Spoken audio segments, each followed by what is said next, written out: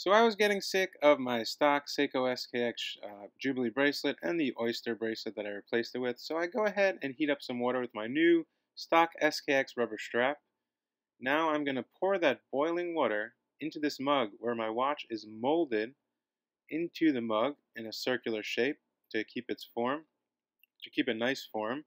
As you can see, I'm pouring the boiling water in there. Don't worry, the Seiko SKX will survive.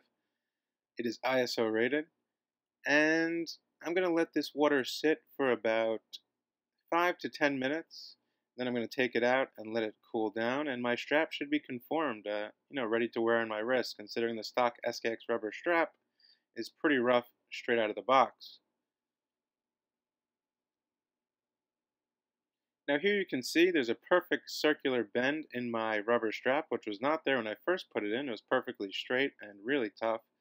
And now it, I should be able to fit it on my wrist. As you can see, it fits perfectly on my wrist. It's super comfortable and it fits really nice and I have no problem with it now. So if you have a stock SKX rubber strap and you need to, you know, kind of break it in, this can be done in 10 minutes, as easy as you just saw. Hope you guys enjoyed this video, a short little video here on how to kind of bend your rubber strap or break it in. Anyway, please hit that like button, subscribe to the channel. I have a lot more watches coming in for review definitely check out my blog at watchaddictchannel.com, at watchaddictchannel on Instagram. Bye.